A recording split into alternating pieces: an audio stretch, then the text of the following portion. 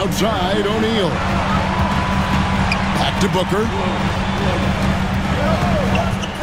Puts up a deep three.